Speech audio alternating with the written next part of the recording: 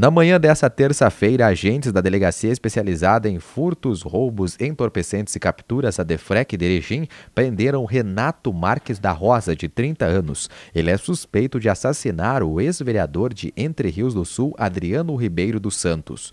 O crime aconteceu na madrugada do dia 12 de março, na frente de uma casa noturna no bairro São Cristóvão, em Erechim. Renato teria tido a ajuda de Patrick da Rosa Grande de Quadros para praticar o homicídio. Patrick está foragido da justiça.